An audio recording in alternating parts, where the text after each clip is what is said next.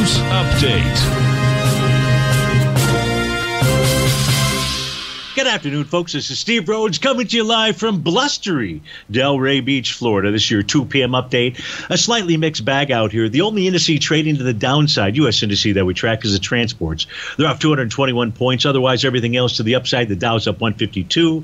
The S&P 19 or 20 points. The Nasdaq 100 149. That's nine tenths of a percent to the upside. Russell up seven tenths or nearly 15 points. Semis up 66.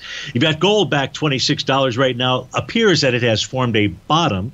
We take a look at the intraday time frame charts out there. Silver's back 44 cents. She's trading out at 22.91. Uh, light sweet crude is up 57 pennies. Natural gas up a nickel right now. Let's go spend a little time and take a look at our indice charts. Give me a moment here just to change screens, and we'll begin by taking a look at the Dow in the upper left-hand corner. So the Dow still has for the cash indice still has its TD9 count top that uh, formed out here on November the 8th that high is still in place out there. Until that high gets taken out, it's got a valid topping pattern.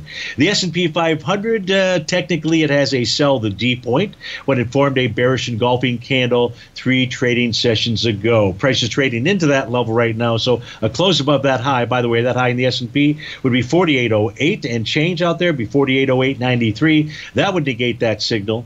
Uh, if we take a look at the NDX 100, it still has a Rhodes Momentum Indicator top. Price has tested and rejected that green oscillator and change line that suggests a further move higher. The Russell 2000, um, you know, it's got perfect bottom. Rhodes Momentum Indicator bottom, a TD9 count bottom, a Basil Chapman Wave number seven bottom. It's got them all out there. Maybe price is going to go tag that 2404 level. The semis, they have a confirmed Rhodes Momentum Indicator top. Price is trading into that swing point. That swing point is from the trading session of uh, come on, Stevie, get it? There we go. That's a trading session of December the 28th. That high out there is 40.54.99. That's where price would need to close above in order to negate its sell signal. The transports, uh, I just don't have a good read on them. Uh, the XAU pulling back with gold pulling back. That's not to be unexpected out here, uh, but it is uh, holding support as we speak. So, folks, stay tuned. We've got a replay coming up, I believe. It is, uh, I'm not sure what replay, my apology.